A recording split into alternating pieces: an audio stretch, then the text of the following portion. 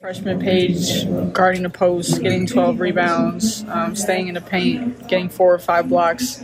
I don't think that could have happened my freshman year. So to see the turnaround and and just the body of work that I've done for my body in the weight room, um, in my nutrition, in my sleep, um, and see all of that hard work pay off in, in that way, it's just really rewarding. I would say, um, but yeah, I think that was the main thing that that sort of like I really thought about, and reflected on. Paige, I said that you were her roommate here for this uh, this tournament. What were some of those conversations like, knowing how much pressure was going to be on her, how much would be demanded of her? Yeah, um, ever since me and Ice, we had our injury journey kind of sort of during the same time. Um, and we just got so close to that time, just leaning on each other, leaning on each other's strengths. Um, but also, we built our faith together. We started going to Bible study together, going to church together. Um, and I just told her God's timing is always perfect. Um, she's had a lot of ups and downs through, this, through the season, inconsistencies, and being a freshman at UConn is hard. And I've told her that many many times. And just to see her growth, and just talk about the timing of her having to be at her best. Um, in the biggest moment and her stepping up to that plate and being confident when everybody on the team believes in her, everybody in the coaching staff believes in her. Um, so just instilling that confidence within her um, and making sure she makes the most of the moment uh, was a conversation we had a lot. How much of a difference can she make going forward if she can play like this now? Yeah, it's huge. Then we have like two consistent forces in the paint. Um, Aaliyah's had to carry a lot of the heavy load, um, so hoping to get her back for the tournament. But to have another piece like that um, off the bench is is crucial, um, especially if Aaliyah gets in foul trouble or her nose is bothering her or something like that. To know that Ice performed on the biggest stage like this it's got to be a huge confidence booster for her as well to keep on building on this um, the rest of this year and then leading into next year. But it's it's a huge addition before the tournament. It's being kind of backed into a corner where it's such a thin rotation these last two days. Did, did, that help you guys forge almost a new identity? I mean, you you were ferocious and it was sustainable as it turned out. Yeah, it it made us hyper focus, hyper lock in, and be super attentive um, in the details of the game, with the scouting report, um, trying to keep Ice in the paint, um, and switching out on the guards, switching out on the posts. Um, and it really just made us band together even stronger, play with so much energy and so much passion that it became contagious amongst everybody. And when we play like that, we know we're a much, a much better team, and locking in on defense was the main key. But I think having Aaliyah out, having everybody who was out out, um, just makes you just lock in even more. You left a little blood on the court, huh? Yeah, I got a little bloody nose. I felt like Aaliyah. Definitely not the severity of Aaliyah, but. You were good breathing, everything? Yeah, yeah, yeah. It was just a good hit. Of course, they didn't review it, but oh well. I said that it wasn't so much coach's game plan to feed the ball inside to her early, but the way you and Nika just saw things. And did, did you want in the back of your mind to get her going early and just build some confidence? Yeah, it's huge to start a game off strong like that, um, especially for Ice, uh, to get that confidence booster right away, and then it fuels her the rest of the game. Um, but yeah, we were just taking what the defense was giving us. Um, I think Aaliyah had a huge game last time. George, we played Georgetown at home, um, so knowing we could get into the paint, um, Ice could make a difference there. Uh, it did, wasn't really a focus, but it just happened naturally.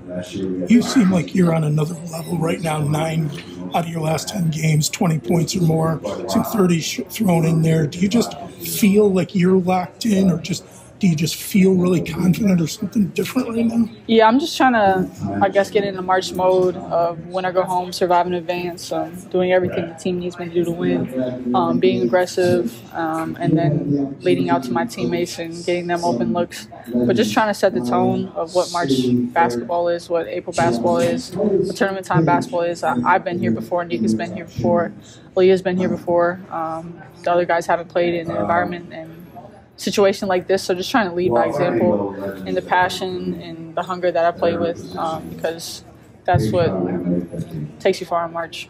Paige, what are, what are the different things opposing teams are trying to do to knock you off your game or wear you out? Or, clearly, not much is working, but you must see a lot of different attempts to disrupt what you're able to do. Yeah, I think playing physical is like the most consistent thing I've seen teams do um, defensively. Um, and then teams, when I'm on defense, try to attack me and try to get me out of foul trouble or get me into foul trouble. Um, and usually I'm guarding a post, so trying to take advantage of that mismatch um, and get me out of the game of fouls. So being physical for sure is a lot of what I see on defense, especially because I try to move so much. So from not having to run around guarding me the entire possession, they can just push me out and try to keep me in one spot. Um, but definitely being physical, being like picky with their hands, trying to get the ball, um, and then also just not letting me catch it, um, trying to be in denial.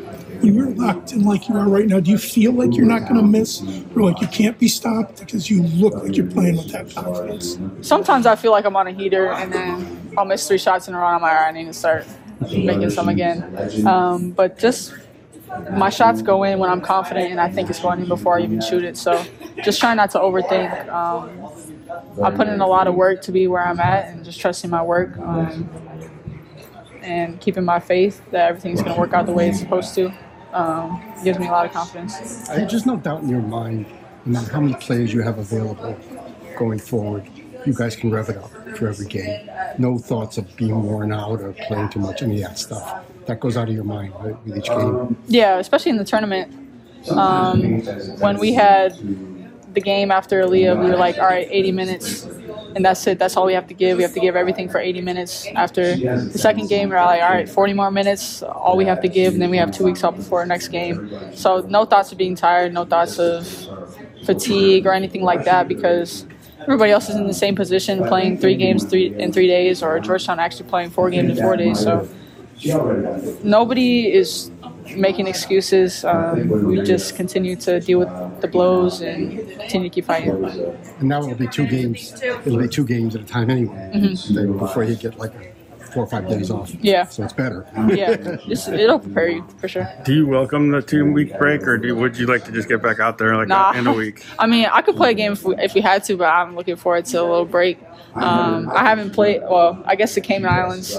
Um, we played. I think I was it three games three days or two games. Um, but this has been a lot of minutes, a lot of physical games, a lot of minutes. Um, but yeah, I'm excited for a little a little time off, but ready to get back to work too. feel like you, you showed that you're capable of playing defense as well as you talk about it? A lot of people have heard you talk about your pride in defense. You're really playing good defense right now. Well, thank you. I feel like I'm, don't really get talked about on the defensive end, but I feel like my presence is felt in the game, which is more important than anything anybody could say about my defense. So it's again just me trying to impact winning, um, me taking pride on the defensive end. It's easy to be offensive superstar if you take breaks on the defensive end. So I want to be a two-way, two-way player um, and impact the game more than just the offensive end. And I really take pride in that. I've got a lot of work to do. I'm not. I'm not saying I'm an all-world defender or anything, but I work hard at it, um, and I take pride in. it. I mean, I'll say it about myself, but I, I know I'm realistic enough to know. Um, but yeah, I take pride in it, so I'm, I'm glad the blocks and steals are sort of something I can show for it.